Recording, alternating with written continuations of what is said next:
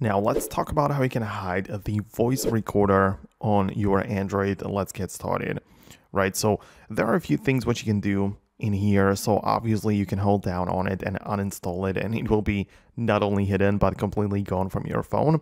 I mean, that's a possibility as well. But what you can do is like, of course, drag it somewhere else, make it less prominent by hiding it away in some kind of like different page or even remove it from the home screen and only have it available within the app drawer, right? So that is the possibility.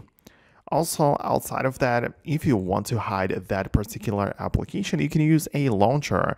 For example, the Nova launcher, if you install it, this one allows you to like rename applications and even like set a different icon for them. So it's gonna mean that the app will be hidden under some kind of different name and picture, so it will be pretty much impossible to find unless you know what it is.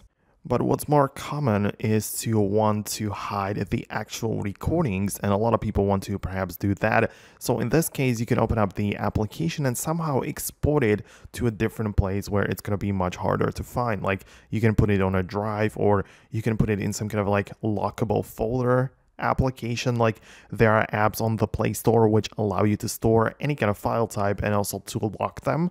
So that's pretty useful too if you ever want to hide some kind of recordings you know not necessarily the entire application that, it does the job but the actual finished recordings. So these are the things and these are the tips which I wanted to share with you. Let me know below in the comments if there is anything else that you are like struggling with or some have some questions about go ahead and do that and I'll see you in the future.